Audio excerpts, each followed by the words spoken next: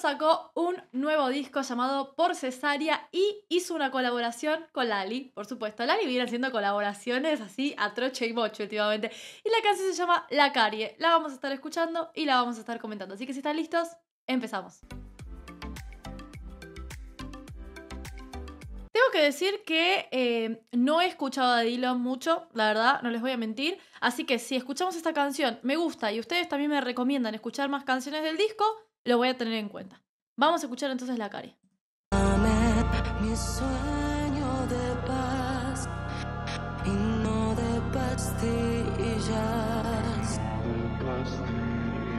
Perdón, voy a empezar de nuevo porque creo que lo agarré engancha, lo enganché empezado. Vamos de nuevo. Dios mío, dame mi sueño de paz ¿Sos graves de Lali? y no de pastillas. Me gustan mucho esos graves de Lali. Ojo, ¿eh? Aparte de grave, súper melódico, parece como muy dramática esta parte. A ver qué onda.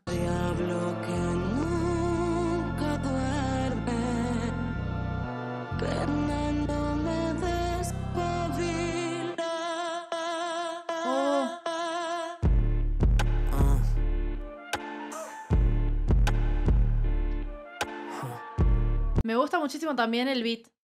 Eh, no tengo muchas referencias acerca de la música de Dylan, así que me estoy sorprendiendo un poco eh, escuchándolo con ustedes en este preciso momento. Me gusta mucho el beat. La, el comienzo de Lali me parece precioso, súper dramático. Me hace acordar a un tema de Mónica Naranjo que se llama. eh, el tema de Mónica Naranjo está hecho mucho más lírico, pero la canción se llama Doble Corazón y arranca también con una voz súper melódica, un poco más lírica, pero bien grave también. Y va cambiando el estilo, por eso me hace acordar también, porque arranca así como muy dramático y después cambia un estilo mucho más relajado.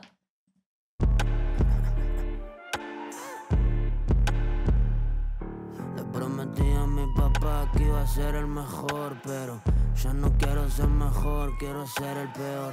Entendí que hacer el mal era la única opción, hasta el día que se corte mi respiración. Todo lo veo artificial como un pulmotor, y los días se me fuman, se hacen de vapor. Ok, entiendan que no voy a juzgar la voz de Dylan porque no es cantante, sí, es rapero. Em, y en cuanto al rap, creo que hay mucha variedad en lo que se puede hacer o no se puede hacer. Está- es mucho más amplio. Em, entiendo que lo que gusta de Dylan es la lírica de sus canciones. Y por ahora me viene gustando bastante. Para todo siempre encuentro un pero. Estoy cansado de empezar desde cero. Entonces pienso, ¿cuál es el problema? Si un poco me calienta la desgracia ajena. Si colaboro con la fuente de la pena. Quiero sentir que soy la carie de tu muela. Dios mío, dame mi sueño de paz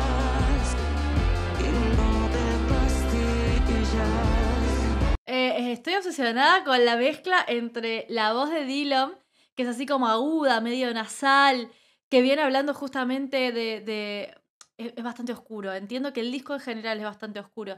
Habla justamente de esa satisfacción medio morbosa que tenemos ante las desgracias ajenas, que es algo de lo que no se suele hablar mucho. Me, parece bastante interesante. De lo que no se suele hablar mucho, porque claramente no está bien visto y porque aparte es algo muy eh, primitivo del ser humano, no está bueno, pero eh, a veces es así. Eh, y el, el- el- lo que aporta Lali en cuanto a la parte melódica, dramática y oscura, me agrada.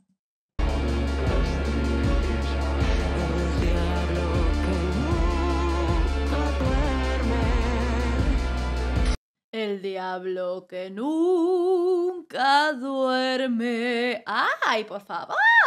Eso es grave, reina.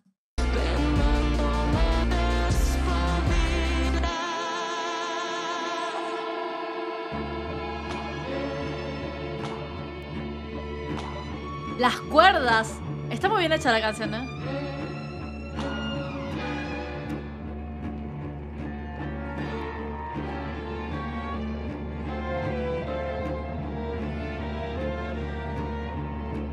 Una mezcla de elementos que a mí particularmente cuando se juntan me gustan mucho, que son el rap, la música orquestal, es decir, instrumentos que son específicamente de orquesta y están usados en una canción mucho más urbana, y una voz femenina que le da un toque dramático. Es una mezcla preciosa.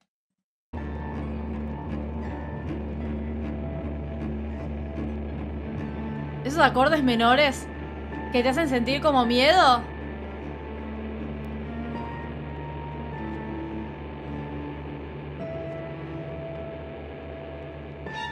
Uf. Escuchen el violín.